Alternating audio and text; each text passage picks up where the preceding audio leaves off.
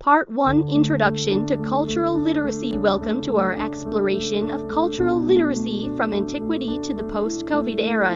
In this presentation, we'll examine how cultural literacy has evolved and its significance in modern education through the lens of Jacques Lacan. My name is Brian L. Ostyn, and this presentation is based on my literature review for EDA 748 Section 1 Introduction Cultural Literacy has transformed significantly, shaping education systems globally. Our focus is on Jacques Lacan's theories from Seminar Sheet, which provide insights into current educational practices during this era of disruptive change.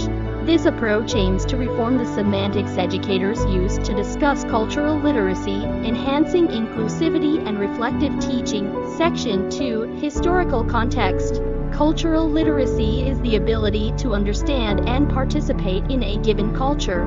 It has its roots in ancient civilizations, where education systems ensured the transmission of cultural knowledge and values. Plato's Republic highlights the role of education in shaping cultural understanding. The direction in which education starts a man will determine his future life. Plato, c. 380 BCE. This quote shows the necessary significance of correctly addressing cultural literacy and aligns with the idea that education shapes not only knowledge but also cultural understanding. Joseph Campbell's The Power of Myth with Bill Moyers offers profound insights into the importance of myths in shaping cultural identity.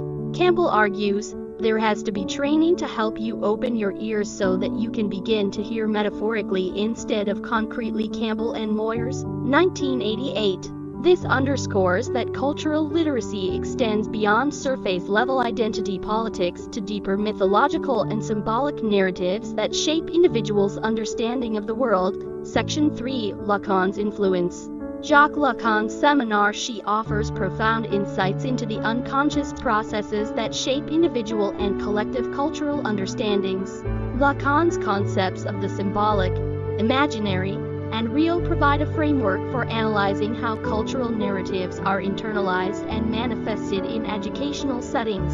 Lacan emphasizes that the unconscious is structured like a language. Lacan, 1977. This perspective underscores the importance of language in shaping cultural understanding and aligns with the need for educators to recognize and address the unconscious influences on cultural literacy. Furthermore, Lacan's assertion that the unconscious is the discourse of the other Lacan, 1977 highlights the role of cultural context in shaping individual identities. This insight is crucial for developing educational practices that are sensitive to the diverse cultural backgrounds of students.